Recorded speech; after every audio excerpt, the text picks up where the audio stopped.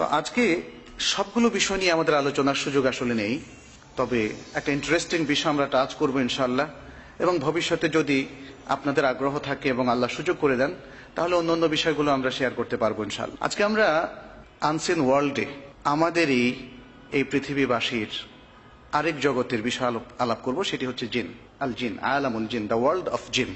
তাদের সম্পর্কে আমরা কিছু আলাপ করব ইনশাল্লাহ যেহেতু আমাদের অনেকেরই ধারণা যে ভূত বলতে আমরা যাদেরকে বুঝি সেটাই বুঝি জিন। Ghost like creation of Allah মানে ভূতের মতো এক ধরনের জীব, এটাই হচ্ছে জিন। অবশ্য ভূতের কাহিনী পড়েনি এমন কি কেউ আছেন এখানে? মনে হয় না, আমরা ছোট সময় থেকে ভূতের কাহিনী পড়েছি। ভূত সম্পর্কে জানি অনেক আজগবি ধরনের গল্প। আর আমি নিজেও ভূতে পাওয়া মানুষকে দেখেছি। অর্থাৎ দাবি করা হচ্ছিল যে হ্যাঁ তাকে ভূতে ধরেছে ইত্যাদি, এই সমস্ত কিছু। একটা ভুল ধারণা আছে, এই ভূতরা হচ্ছে জিন, বা জিন বলতে ভূতদেরকে বোঝানো হয়। কিন্তু আসলে ধারণাটা ঠিক পুরোপুরি তেমন নয়। আল কোরআনের মধ্যে, অনেকে আমাদের মধ্যে আজকের আধুনিক যুগের আধুনিক মনস্ক, শিক্ষিত মানুষ, আমরা দেখি যে তারা জেনে বিশ্বাসই করতে চান না। তারা ভাবেন যে যেহেতু সায়েন্টিফিক্যালি এগুলোকে আমরা প্রুভ করতে পারি না, অতএব বিশ্বাসের কোনো প্রয়োজন নেই। এখানে একটা বিষয় বলে নেই। এই যে এই ধারণাটা আমাদের মধ্যে আজকে ইভেন মুসলিম সোসাইটিতেও প্রবল হয়ে উঠেছে। কেন? মানে একটা বিষয় আমরা লক্ষ্য করছি যে সাইন্টিফিক্যালি প্রুভ না, এরকম অনেক কিছুকেই আমরা কিন্তু বিশ্বাস করছি। সবচেয়ে আধুনিক মনস্ক যিনি, তিনিও কিন্তু বিশ্বাস করছেন অনেক কিছুতে। এবং এটা বাস্তব মহাসন্ধ সবকিছু কি আমাদের কাছে আছে? জানা আছে? আর যেটা জানা নেই, সেটাকে সবসময় অবিশ্বাস করার প্রবণতা, এটা তো ঠিক নয়। এটা যদি সায়েন্সের যে জিনিসগুলো এখনও এক্সপ্লোর্ড হয়নি, সেক্ষেত্রে প্রযোজ্য হয়। তাহলে রিলিজিয়নের ব্যাপারে প্রযোজ্য হবে না কেন? বিশেষ করে রিলিজিয়নের ক্ষেত্রে সোর্স অফ নলেজ হচ্ছে ওহি। আমরা সাহস করে অনেকেই অনেকেই হয়তো ওহির অনেক কিছু অস্বীকার করছেন, আবার অনেকেই সাহস করে পুরোটা অস্বীকার করছেন না। আবার অনেকে পুরোটা বিশ্বাস করছেন। বিশ্বাস যদি করতে হয়, তাহলে সায়েন্স এবং ওহি, এর মধ্যে কনফ্লিকশন তৈরির কোনো প্রয়োজন নেই। তাহলে আনসিন ওয়ার্ল্ডের অনেক কিছুই মানে যেটা বাস্তবেও আমাদের অজানা, আমরা যদি তাতেও বিশ্বাস স্থাপন করি নেগেটিভ সেন্সে না নিই, তাহলে ইসলামের অনেক বিষয় যেগুলো আমাদের ফিজিক্যালি প্রুভ করার কোনো সুযোগ নেই, সেগুলোকে অস্বীকার করার কোনো কারণ আসলে নেই। আমরা দেখি যে আল কোরআনের মধ্যে আল্লাহ রাবুল আলমিন সুরা জিন সম্পর্কে ব্যাপক আলোচনা করেছেন, অনেকগুলো সুরাতে। আমি বলেছিলাম যে আমাদের অনেকেই জিনকে অস্বীকার করার একটা প্রবণতা তাদের মধ্যে আমরা দেখি এবং তারা অস্বীকার করেন। কিন্তু যারা কোরআনে বিশ্বাস করেন তাদের পক্ষে কি সম্ভব জিনকে অস্বীকার করা? যেহেতু আল কোরআনের মধ্যে জিন সম্পর্কিত ব্যাপক আলোচনা আছে। একটা সুরার নামই তো আছে আল জিন সোরাত আল জিন। এবং সেই সোরার প্রায় অর্ধেক অংশেই জিনের আলোচনা। আমরা একটু পড়ে দেখব আয়াতগুলো ইনশাল্লাহ এরপরে আহ, সূরা আল মধ্যে উনত্রিশ থেকে বত্রিশ নম্বর আয়াত পর্যন্ত ভালো জিনরা কীভাবে তারা আচরণ করেন এবং কি কাজ করেন, সে সম্পর্কিত সুন্দর একটা ডেসক্রিপশন সেখানে আছে। তারপরে সুরা আল হিজরের মধ্যে সুরা জিন সম্পর্কে আলোচনা আছে। যে সুরাটা আপনারা সবাই জানেন, সুরা আন্নাস, কি বলা হয়েছে শেষে? মিনাল জিন্নাতি ওয়ান্নাস। সেখানে জিন এবং ইনসানের মধ্য থেকে যারা শয়তান, তাদের কথা বলা হয়েছে। এভাবে আরও অনেকগুলো সুরাতে আমরা দেখব ইনশাল্লাহ আলোচনার মধ্যে আসবে যে জিন সম্পর্কিত আলোচনা এসেছে। আমরা একটু মানে জিন সম্পর্কে সবারই একটা কিউরিয়াসিটি আছে যে ইসলামের দৃষ্টিতে জিনের যে ইতিহাস, তাদের সৃষ্টি থেকে হয়েছে, কীভাবে হয়েছে, তারা কোথায় থাকে, এই বিষয়গুলো সম্পর্কে একটু আলোচনা করে নেই। সোরা আল হিজরের মধ্যে জিনকে কোন বস্তু থেকে আল্লাহ তালা সৃষ্টি করেছেন, সে সম্পর্কিত তথ্য রয়েছে। যেমন আল্লাহ তালা বলেছেন, ওয়াল জান্না না মিন কাবলু মিন নারিন, মিন এর আগে তিনি আল্লাহ তালা বলেছেন, মানুষকে তিনি সৃষ্টি করেছেন ঠনঠনে, শুষ্ক কালচে মাটি থেকে। মিন হামা ইম্মাসনুন ঠনঠনে, শুষ্ক কালচে মাটি থেকে। আর বলেছেন, আর জিনকে আমি তাদের পূর্বে, অর্থাৎ মানব সৃষ্টির আগে তাদেরকে সৃষ্টি করেছি উত্তপ্ত অগ্নিশিখা থেকে। উত্তপ্ত অগ্নিশিখা থেকে। আর সুরাত আর রহমানের মধ্যে আর রহমান অনেকেরই মুখস্থ আছে সুরাটা। আর রহমানের মধ্যে আল্লাহ তালা বলছেন ওখালা কাল জায়ান্না মিম্মার জিমিন্নার আর প্রবল অগ্নিশিখা থেকে তিনি জিনকে সৃষ্টি করেছেন। তাহলে সুরা রহমানের মধ্যেও আমরা পেলাম জিনের ঘটনা। সুরা আল হিজরের মধ্যে সে কথাটি বলা হয়েছে। তাহলে জিনকে সৃষ্টি করা হচ্ছে অগ্নিস্ফুলিঙ্গ থেকে বা অগ্নিশিখা থেকে। তাহলে এটা হচ্ছে জিনের সংজ্ঞা। আল্লাহ তালা মানুষকে সৃষ্টি করেছেন প্রায় নয়টারও বেশি স্পষ্ট আয়াত আছে, মানুষকে, প্রথম যে মানুষ, আদম আলাইসাল্লাম তাকে সৃষ্টি করেছেন মাটি থেকে, কাদা মাটি থেকে। এবং যেটা বলা হয়েছে মিনহামা ইমাসদুন ঠনঠনে শুষ্ক, কালচে মাটি থেকে। আর জিনকে সৃষ্টি করেছেন তিনি উত্তপ্ত অগ্নিশিখা থেকে। তাহলে মানুষের সংজ্ঞা, যদি সৃষ্টিগত সংজ্ঞা বলি, তাহলে মানুষের সংজ্ঞা হচ্ছে যাকে মাটি থেকে আল্লাহ সৃষ্টি করেছেন, আর জিনকে সৃষ্টি করেছেন অগ্নি, স্ফুলিঙ্গ বা অগ্নি শিখা থেকে। এ সম্পর্কিত হাদিসও রয়েছে একাধিক। কখন তাদেরকে সৃষ্টি করা হয়েছে, সে তথ্যটাও কিন্তু আমরা সোরা আল হিজরের মধ্যে পেয়ে গেলাম। মিন কাবলু, আই মিন কাবলিল ইনসান, মানুষ সৃষ্টির আগে। আল্লাহ তালা জিনদের যে নেচার, সৃষ্টিগত যে বৈশিষ্ট্য, সেটাও তুলে ধরেছেন আরেকটি সোরায়, সেটি হচ্ছে সোরা আল আরাফের মধ্যে আল্লাহ তালা বলছেন, ওয়ালাকাদ দারানা লিজাহান্নামা কাসীরাম মিনাল জিন্নি ওয়াল ইনস। আমি জাহান্নামের জন্য সৃষ্টি করেছি অনেক জিন এবং অনেক মানুষকে। এখানে যদিও আল্লাহ তালা বলছেন, আল্লাহ তাদেরকে জাহান্নামের জন্য মানে ফিক্সড করে ফেলেছেন ব্যাপারটা মানে এইভাবে বুঝলে হবে না। বরং আল্লাহ সৃষ্টি করেছেন সমস্ত মানুষকে, সমস্ত জিনকে, তাদের মধ্যে যারা ভালো কাজ করবে, তাদের জন্য তাদের জন্য আল্লাহ তালা জান্নাত নির্ধারণ করেছেন, আর যারা খারাপ করবে, তাদের জন্য জাহান্নাম নির্ধারণ করেছেন। এটা কি আল্লাহ তালা তার আরেকটা এক্সপ্রেশন এখানে তিনি আমাদের সামনে পেশ করেছেন, যে মানুষ একদল জিনকে, একদল মানুষকে তিনি জাহান্নামের জন্য সৃষ্টি করেছেন। এরপরে বলা হচ্ছে যাদেরকে তিনি জাহান্নামের জন্য সৃষ্টি করেছেন, তাদের বৈশিষ্ট্য হলো, লাহম কুলুবুন লাইফকাহুনা বিহা। তাদের হৃদয় থাকবে, হার্ট থাকবে but they will not comprehend and they will not understand by their heart তারা তাদের হৃদয় দিয়ে কোনো কিছু অনুভব করবে না, সত্যকে অনুধাবন করবে না। ওয়ালাহুম ওয়ান্নাহু কানা মিন, কানা রিজালু মিনাল ইনসি ইয়াউযুনা বিরিজালি মিনাল জিন ফাজাদুহুম রাহাকা। আর মানুষের মধ্য থেকে একদল লোক, তারা একদল জিনের মাধ্যমে তারা জিনের কাছে আশ্রয় গ্রহণ করত, জিনের সেবা করার মধ্য দিয়ে, জিন প্রতিপালনের মধ্য দিয়ে, এবং জিনের মাধ্যমে তারা কিছু সার্ভিস নেওয়ার মধ্য দিয়ে।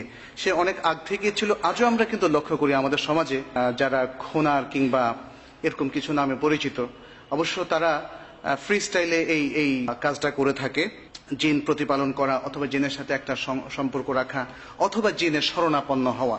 এখানে জিনরা বলছে যে একদল মানুষ একদল জিনের কাছে শরণাপন্ন হয়ে থাকে, ফলে তারা ওদের অহংকার বাড়িয়ে দিয়েছিল। জিনের শক্তিতে তারা ভাবছে, মানুষরাও অহংকারের মধ্যে যে তারা অসাধ্য সাধন করতে পারে করতে পারে, জিনের চিকিৎসা। আপনারা শুনেছেন ইতিমধ্যে বাংলাদেশে জিনের বাদশাহ নানা ধরনের কীর্তিকলাপ তাদের। অবশ্য তাদের জিনের বাদশাহ এমন ছিল যে এটা মানুষ। এদেরকে পরবর্তীতে ধরাও পড়তে হয়েছে। তো এইভাবে এই সুরার মধ্যে প্রায় আধাদি পর্যন্ত জিন সম্পর্কে স্পষ্ট ব্যাপক আলোচনা রয়েছে এবং এর মধ্যে আমাদের এই সুরার মধ্যে যে লেসনগুলো আছে, জিনদের মধ্যে, জিন থেকে আমাদের শেখার কিছু বিষয় আছে, আমি ইনশাল্লাহ আলোচনা শেষ দিকে সেদিকে আলোকপাত করার চেষ্টা করব ইনশাল্লাহ জিনরা কোথায় থাকে? জিনের আগে আমরা শয়তানের বিষয়টা একটু আলোচনা করি, যেহেতু শয়তান যাদেরকে আমরা চিনি, যেমন ইবলিস। ইবলিস কানামিনাল জিন। কোরআনের ভাষা ইবলিসও ছিল, জিনের অন্তর্ভুক্ত। আর আজকাল ইবলিসের যে বংশধর ইবলিসের বংশধর আছে যাদেরকে আমরা শয়তান নামে অভিহিত করি, তাদের সম্পর্কে ইসলাম কি বলছে? এখানে আমরা দেখি, আল্লাহ তালা বলছেন, ফাকাতিলু আউ- আউলিয়া শায়াতিন ইন্না কায়দা শায়দানে কানাদা আইফা তিনি বলছেন যে শয়তানদের বন্ধুদের বিরুদ্ধে তোমরা যুদ্ধ করো, সংগ্রাম করো। কারণ শয়তান মানুষকে সবসময় মিসগাইড করে। অতএব একটা রেসিস্টেন্স আমাদের গড়ে তুলতে হবে শয়তানের বিরুদ্ধে। যেহেতু শয়তান হচ্ছে সব ধরনের ইভলের সিম্বল সব ধরনের মন্দ এবং অমঙ্গলের সিম্বল সে কথাটি এখানে বলা হচ্ছে যে শয়তানের বন্ধুদের এবং সাঙ্গপাঙ্গ যারা রয়েছে, তাদের বিরুদ্ধে তোমরা সংগ্রাম করো। কারণ শয়তানের যে ষড়যন্ত্র, সেটি কানা দাইফা অত্যন্ত দুর্বল। শয়তানের মূলটা কি? কোরআনে কিন্তু সে কথাটাও তুলে ধরা হয়েছে। শয়তানের মূল হচ্ছে যে ইবলিস এবং তার শুরুটা কীরকম? প্রথমে তাকে, সে জিন হওয়ার পরেও তাকে ফেরেশতাদের সাথে থাকতে দেওয়া হয়েছিল। এবং এ কথাই সূরা বাকারার মধ্যে বলা হয়েছে লিআদম যখন ফেরেশতাদেরকে আমরা বললাম, তোমরা আদমকে সেজদা করো। ফাসাজাদু, তারা সকলে সেজদা করলেন। ফেরেশতাদের সাথে ছিল ইবলিস। এবং ইবলিস তখন ফেরেশতাদের কলিগ ছিল এবং তাদের মতোই ভালো কাজের চর্চা করত। কিন্তু কখন সে শয়তান হলো, যখন সে আল্লাহ তালার এই নির্দেশকে অমান্য করল, আল্লাহ তালা বলছেন, ইল্লা ইবলিস। কিন্তু ইবলিস সে কোনো সেজদা করল না। ওয়াস্তাক আবা, ওয়াস্তাক পারা। সে অহংকার করল, সে অস্বীকার করল সেজদা করতে।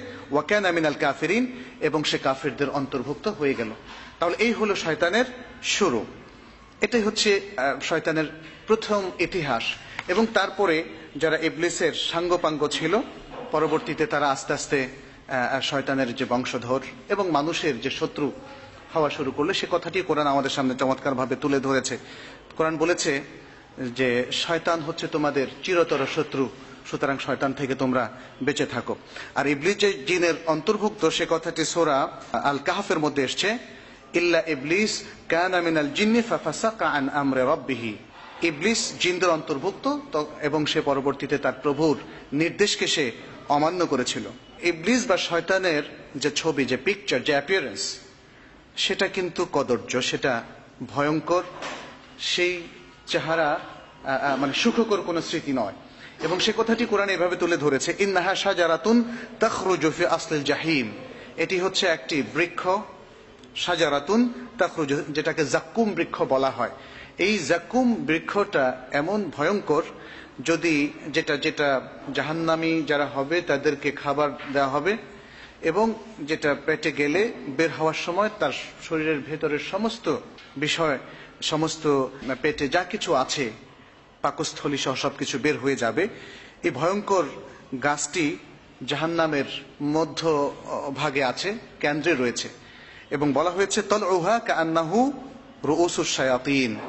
এর যে শাখা, প্রশাখা গাছের যে বিস্তৃতি, এটা হচ্ছে শয়তানের মাথার মতো।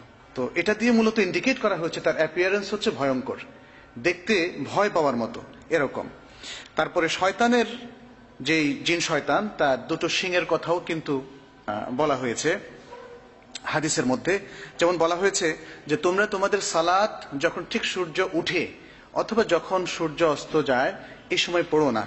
কারণ এই সময় সূর্য শয়তানের দুই সিংহের উপর দিয়ে উঠে। সাইন্টিফিক ইন্ডিকেশন অথবা হাদিসের মধ্যে সাইন্টিফিক ইন্ডিকেশন হিসেবে তারা দেখছে। তো সুতরাং এই বিষয়গুলো ওহির যে ইনফরমেশন বিশেষ করে যারা মুসলিম রয়েছেন, তাদের সেগুলোর প্রতি দৃঢ় বিশ্বাস রাখতে হবে, যদিও সেটা আমরা সাইন্টিফিক্যালি সরাসরি প্রুভ করতে না পারি। জিনদের খাবার কি? জিনরা কি খায়? আপনাদের কারও জানা আছে? জিনরা মানুষের খাবার খেতে পারে, এটা অসম্ভব নয়, তবে তাদের প্রধান খাদ্য কি এটা হাদিসে এসছে? হাড় এবং গোবর, এ দুটো। যেমন হাদিসের ভাষা বলা হয়েছে জিন, সেটা কি আর রাউথ এবং আল ইদাম আল ইদাম মানে হচ্ছে হাড় এবং রাউথ মানে হচ্ছে গোবর, অর্থাৎ গরুর যে উচ্ছিষ্ট সেটি। আর এছাড়া অন্যান্য খাবারও তারা খেতে পারে, সেটা নিষিদ্ধ নয়। তবে এটা হচ্ছে জিনদের খাবার। এই জন্যে এগুলোকে ব্যবহার করতে নিষেধ করা হয়েছে। ইসলামে এগুলোকে আমাদের মানে এগুলোকে বিনষ্ট করতে নিষেধ করা হয়েছে। যে কোনো হাড়, সাধারণত পশুর যে হাড়, আমরা যে হাড়গুলো ফেলে দেই আমাদের খাবারের পরে সেই হাড়গুলো তাদের খাদ্য। এই, জিনরা কি বিবাহ করে? তাদের কি বংশবিস্তার হয়? হ্যাঁ সেই ইন্ডিকেশনটাও হাদিসের মধ্যে পাওয়া যায়। যেমন কোরআনের মধ্যেও পাওয়া যায়। সুরা রহমানের মধ্যে বলা হচ্ছে আহ, বেহেশতের মধ্যে যারা রয়েছে তাদের কথা যে লামিয়া তুমি হুন্না এনসুন কাবলাহুম ওলা যান তাদেরকে স্পর্শ করেনি কোনো মানুষ অথবা কোনো জিন। অর্থাৎ প্রত্যেকেই এতটা নিষ্কলুষ থাকবে। চারিত্রিক কোনো অধপতন কিংবা কলুষতা তাদেরকে স্পর্শ করবে না। সেটি বোঝানোর জন্য বলা হয়েছে যে মানুষও তাদেরকে স্পর্শ করেনি জিনও তাদেরকে স্পর্শ করেনি। তার মানে এই পৃথিবীতে মানুষ এবং জিনের মধ্যে এই প্রক্রিয়াটা আছে। এর বৈধ প্রক্রিয়াটা হচ্ছে যেমন বিবাহ। তাহলে জিনের মধ্যে মানুষের মতোই বিবাহ প্রথা রয়েছে যেহেতু জিনের মধ্যেও বিলিভার বা মোমেন এবং আনবিলিভার এবং অমুসলিম বা যারা বিশ্বাসী নয়, এরকম রয়েছে। সুতরাং বিবাহ প্রথা তো অনুসরণ করবে তারাই, যারা সাধারণত বিশ্বাসী। এবং অন্য ধর্মের মধ্য থেকেও যারা আসমানি কিতাব গ্রন্থ প্রাপ্ত হয়েছিল তাদের মধ্যেও বিবাহ আছে। অবশ্য পৃথিবীর যে কোনো ধর্মের মধ্যেও বিবাহ আছে। কিংবা যারা ধর্ম মানে না, তাদের মধ্যেও বিবাহ দেখা যায়। যদিও আজকাল এই প্রথাটার প্রতি অনেকেই বিরাগ ভাজন হয়ে গিয়েছেন। কিন্তু ইসলামের বিধান হচ্ছে, বিবাহ প্রথাটাই হচ্ছে, বংশ প্রক্রিয়া বৃদ্ধির বা দাম্পত্য সম্পর্ক স্থাপনের একমাত্র বৈধ পদ্ধতি সেটা জিনের মধ্যে আছে এবং এভাবে জিন তাদের বংশ বৃদ্ধি করে থাকে। সে কথাটি সোরা আল কাহাফের মধ্যে এসছে।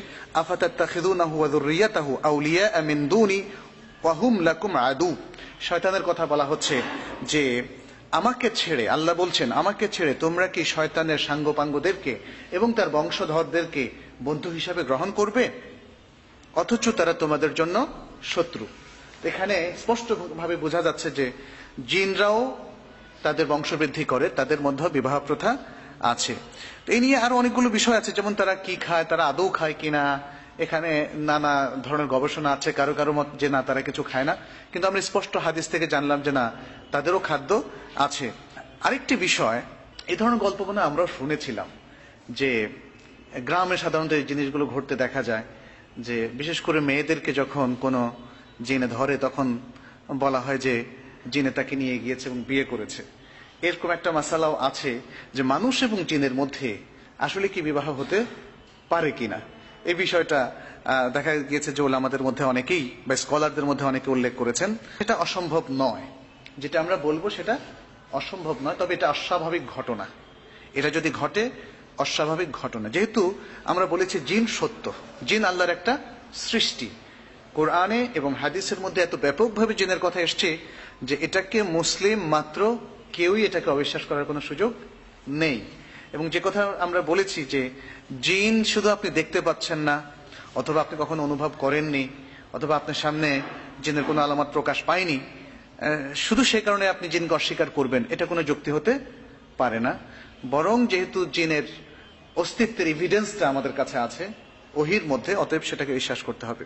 এখন জিন এবং মানুষের মধ্যে বিবাহ হয় কিনা এই প্রসঙ্গে কথা হচ্ছে যে এটা হতে পারে। হতে পারে, অসম্ভব নয়।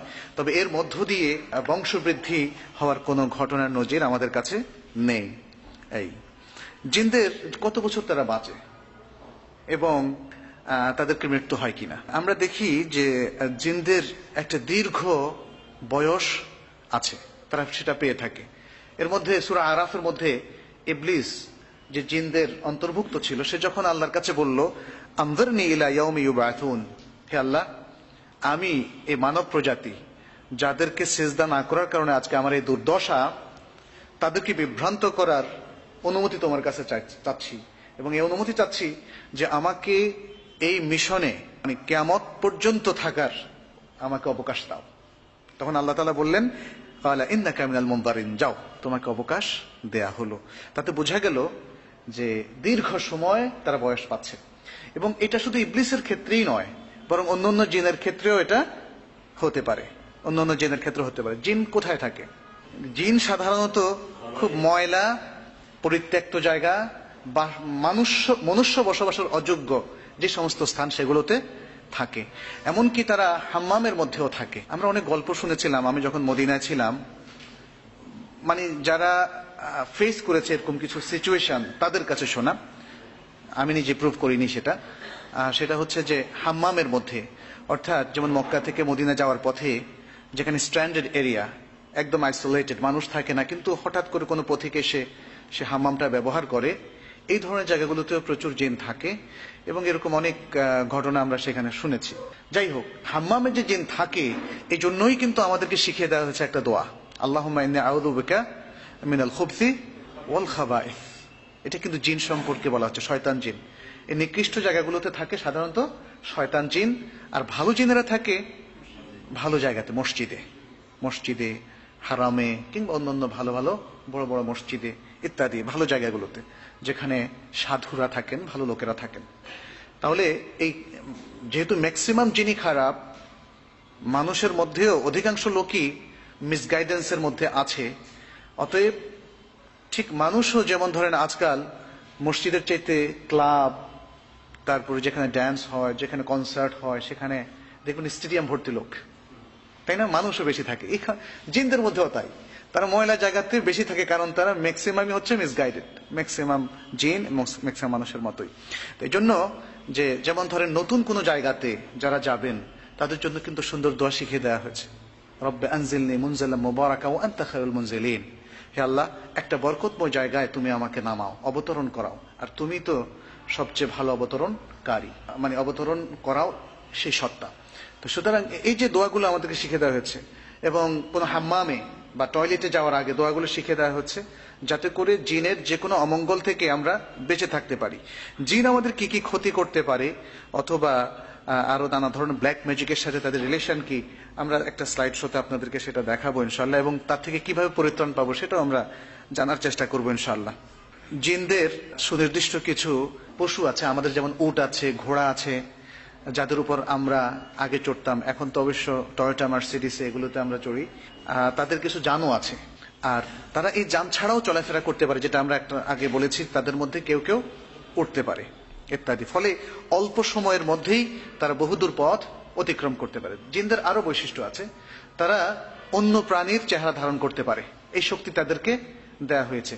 এই জন্য জিনদের মধ্যে কেউ কেউ সাপ কিংবা অন্য যে কোনো প্রাণীর ছবি ধরে আসতে পারে।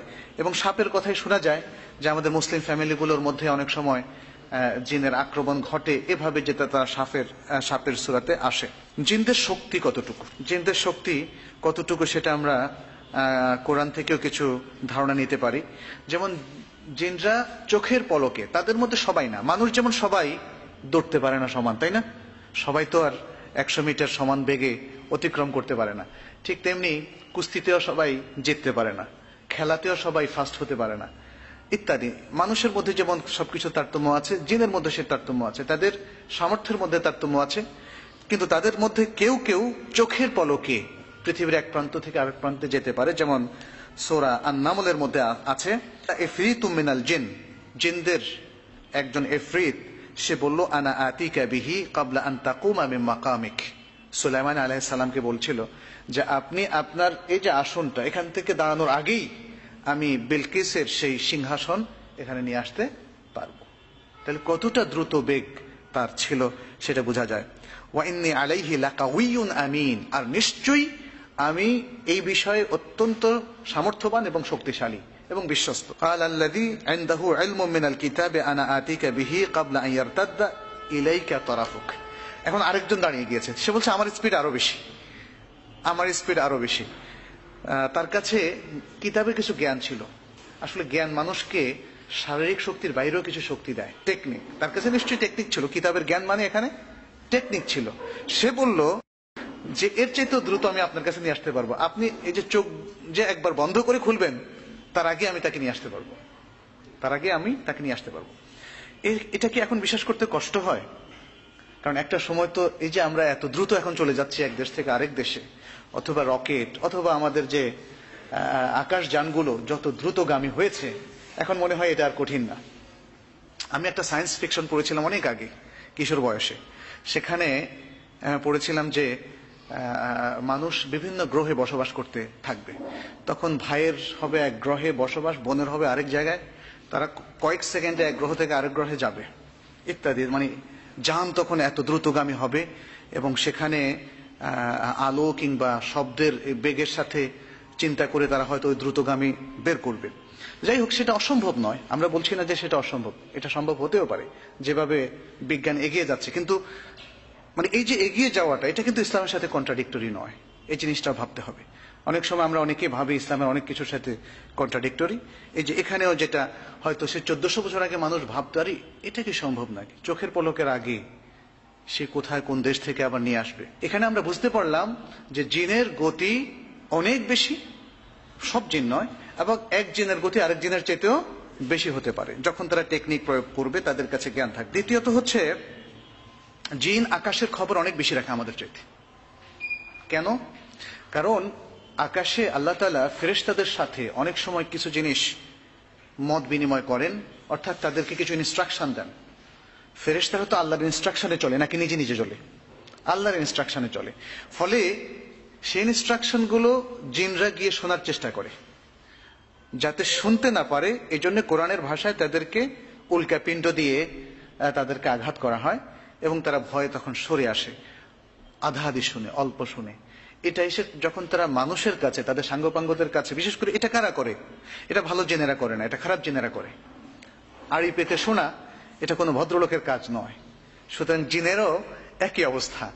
তো তারা যখন এটা এসে শুনে, তখন পৃথিবীর শয়তানদের কাছে তারা সেই মেসেজগুলো পৌঁছিয়ে দেয়। পৃথিবীতে দেখবেন যে যারা ভবিষ্যৎবাণী করে, অনেক জ্যোতিষীরা অথবা যারা জিনদেরকে পালে, জিনদের সাথে যাদের রিলেশন আছে, তারা এই আধা আধি খবরগুলো দিয়ে মানুষকে কনফিউজ করে। আর মানুষ তো এরকম যে একশোটার মধ্যে একটা ঠিক হলেও তার বিশ্বাস জন্মে যায় যে, না, তার মধ্যে কিছু মানে শক্তি আছে। ফলে তাকে হিপটোনাইজড করা খুব সহজ হয়। তো এই জিনিসটা আমরা এখানে কোরআন আয়াতের মধ্যে দেখি, যেমন সোরা আল জিনের মধ্যে আল্লাহ তাআলা বলছেন, জিনদের ভাষায়, জিনরা নিজেদের কথা বলছে ওয়ান্না লামাসনা সামা আমরা আসমানে গিয়ে আড়ি পাততাম ফওয়াজাদ নাহা। আমরা সেখানে গিয়ে পেলাম মুলে আত হারাসান শাদিদা। আসমানের মধ্যে একটা প্রবল প্রহরার ব্যবস্থা করা হয়েছে। অর্থাৎ এটা মানে এটা, এই প্রহরাটা ভেদ করে যাওয়াটা খুব টাফ পুরো আসমানটাকে আল্লাহ তালা একটা নিশ্চিদ্র একটা প্রহরার ব্যবস্থা করেছেন। ওয়ান্না কুন্না না মিনহা মাকায়দ আল ইসলামার আর আমরা সেখানে কোনো কোনো জায়গায় বসতাম শোনার জন্য। যে আল্লাহ তালা ফেরেশতাদেরকে কি ইনস্ট্রাকশন দিচ্ছেন? তো সেটাকে বন্ধ করা যায় কিনা কোনো মতে? বা কোনো সাবোটেজ করা যায় কিনা? অথবা কোনো ক্ষতি করা যায় কিনা, ইত্যাদি। আন ইয়াজিদ লাহু রাসাদা। যে এখন শুনে অথবা যারা শুনে তাদেরকে আল্লাহ তালা উল্কা পিণ্ড দিয়ে আঘাত করেন যাতে তারা শুনতে না না পারে। তো এখানে যেটা ফুটে মানে এসছে, সেটা হচ্ছে যে তারা আসমানে তাদের একটা অ্যাক্সেস আছে, তারা ফেরেশতাদের কাছাকাছি লুকিয়ে শোনার একটা প্রবণতা তাদের মধ্যে আছে, যদিও তারা সেখানে পুরোপুরি সামর্থ্য হয় না। তাদের বিভিন্ন কাজের কথাও সুরা সাবার মধ্যে এসছে। সুরা সাবার বারো থেকে তেরো আয়াতের মধ্যে এসছে যে তারা যেমন সুলাইমান আলাইসাল্লামের রাষ্ট্র অনেক কাজ করেছে। এখনও তারা করে কিন্তু তারা তাদের কাজ, সব কাজের ডিসক্রিপশন আসেনি। সোলাম আলাহিসাল্লাম তারা কি করেছিল? মেহরাব তৈরি করেছিল। এবং বাইতুল মাকদেসের অনেকগুলো স্থাপনা তারা তৈরি করেছিল। এবং সেই কাজটা কমপ্লিট হওয়ার জন্য আল্লাহ তালার পক্ষ থেকে যে একটা বিশেষ উইজডম কার্ড করেছিল যে সোলাম আলাহিসাল্লাম মারা গিয়েছেন, কিন্তু জিনরা সেটা বুঝতে পারেনি। এখানে জিনদের কিছু ব্যর্থতাও দেখা যায়। যে তারা যে প্রবল ক্ষমতা সম্পন্ন তারা যে সবকিছু বুঝে, ব্যাপারটা মোটেই তা নয়। বরং তারাও টের পায়নি। যেহেতু সোলাইম আলাহিসাল্লামের যে তিনি এন্তেকাল করেছেন, তার হাতে লাঠি ধরা ছিল, সে অবস্থায় একটা লম্বা টাইম চলে গিয়েছে। যখন স্থাপনার কাজগুলো শেষ হয়ে গেল, তখন দেখা গেল যে উই পোকা বা এই জাতীয় ওই লাঠিটা খেয়ে ফেলল। তখন তিনি পড়ে গেলেন আর তখন জিনরা বুঝতে পারল যে সাল্লাম তো অনেক আগেই মারা গিয়েছেন। এবং তারা যদি আগে বুঝতে পারতো কোরআনের আয়াত এভাবে বলা হয়েছে যার অর্থ, তারা যদি বুঝতে পারতো, তাহলে তারা বলতো, তাহলে এত কষ্ট গলত ঘর্ম তো আমাদেরকে হতে হতো না। এই, তাহলে দেখা যাচ্ছে যে তারাও বিভিন্ন ধরনের শৈল্পিক কাজকর্মে বা দুনিয়ার কাজকর্মে তারাও দক্ষ। এবং কোন কোন ক্ষেত্রে তারা মানুষের চাইতেও দক্ষ। এ আয়াত থেকে সেটাই বোঝা গেল। তারা বিভিন্ন শেকেল সুরাত ধরতে পারে, সে কথা একটু আগে বলেছি। কোরআনে তার দলিল হচ্ছে ওয়াইদ জাইয়ান আল্লাহুম শায়াতানু আমালাহুম ওয়াকাল লা গালিবা লাকুম লিয়াউম মিনান নাসি ওয়া ইন্নী জারুল লাকুম। যখন শয়তান তাদেরকে, মুসলমানদেরকে তাদের কাজকে সুশোভিত করে দিল এবং বলল যে, আজকে মানুষ এটা কাফেরদের কথা বলা হচ্ছে। কাফেরদের কথা বলা হচ্ছে যে কাফেরদের কাছে তাদের কাজকে সুশোভিত করে দিল এবং বলল যে আজকে তোমাদের উপর কেউ বিজয়ী হবে না। এটা বদর যুদ্ধের ঘটনা। কাফেররা যারা মদিনা এসেছিল মুসলমানদেরকে নিশ্চিন্ন করার জন্য, তখন শয়তান তাদেরকে হেল্প করছিল। নানাভাবে ইন্ধন যোগাচ্ছিল আর সাহস যোগাচ্ছিল। বলছিল, তোমাদের পরাজিত হওয়ার কোনো কারণ নেই তোমরা বিজয়ী হবে। এবং শয়তান তখন একজন মানুষের সুরাত ধরে তাদেরকে উদ্বুদ্ধ করছিল। আর তাদেরকে বলছিল, ইন্নি জারুল্লাকুম আমি তোমাদেরই প্রতিবেশী। তোমরা ভয় পেও না, তোমরা এগিয়ে যাও। কারণ সে জানে যে এই অবস্থায় সাহস যোগানোর একটা বিশাল, একটা পজিটিভ। তারপরে দেখা গেল যে শয়তান আরও কি করল? ফালাম্মা তারা আতিল ফিয়াতান যখন বদরের যুদ্ধ দুই প্রান্তের লোকরা পরস্পর মুখোমুখি হলো, নাকাসা আলা আকিবেই তখন সে তার বিপদটা টের পেল। আর কি হলো? তার পশ্চাৎ ধাবন করা শুরু করল। ওকালা ইন্নি বাড়ি ওমেন্ক তখন পরাজিত শক্তিকে সে বলল, কি? ইন্নি বাড়ি ওমেন তোমাদের সাথে আমার আর কোনো সম্পর্ক নাই।